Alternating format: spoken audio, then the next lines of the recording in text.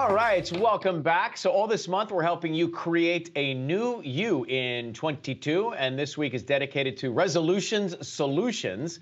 Here with tips on how to get organized at home is professional organization expert with over 1 million YouTube subscribers, Alejandra Costello. Good morning, Alejandra.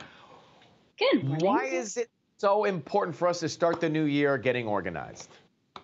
Well, since it's the new year and a lot of us are setting goals, making time to get organized now is going to set a foundation so our future self has an easier time achieving our goals without the distraction of clutter slowing us down.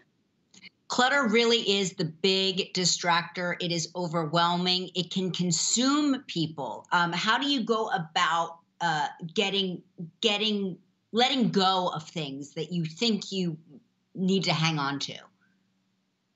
Yeah, so one way to let go is to focus on the gain. So, what are you going to gain by letting go as opposed to what are you losing out? Because letting go can feel like a sense of loss, but if you flip it and focus on the gain, it can be a lot easier to let go. Mm-hmm. All right, let's get into some tips. What do you have for us? Yeah, so a great first step is to create a daily habit of putting things away that are out of place. So, grab a timer. You're going to set it for 20 minutes because that's going to feel more doable than like 45 or 60, uh, and move things closer to their ideal homes if they don't have a home. And the whole goal is just to make it better than it currently is. And you can add music, add a podcast uh, to make the task more enjoyable.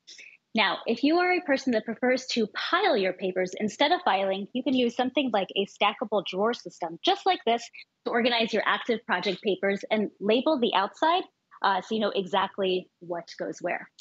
Now, if you have a long to do list, it can feel overwhelming um, and even paralyzing. So instead, start each day by grabbing a sticky note, writing down your top three priorities for the day.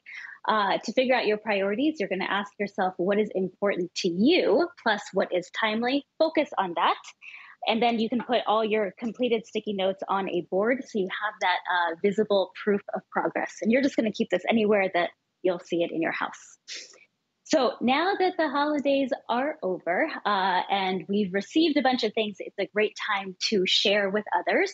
So one of the keys to staying organized is A, B, C, D. It's always be consistently decluttering Meaning, when you come across something you no longer need, use, or love, you're going to toss it into a basket to share with someone in need. Once the basket is filled, drop it off at your favorite charitable organization, continue to refill it, and label it with something that inspires you to give, such as, How can I help someone today? or uh, Give what you need. So, uh, documents we tend to misplace tax documents, receipts.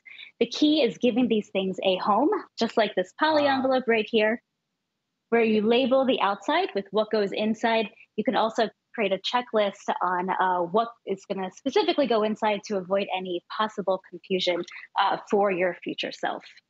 It's all good stuff. So, We're going to take a break here and put some more tips on our website. But labeling, it's labeling is key, isn't it? We'll be right back. Yeah, yeah.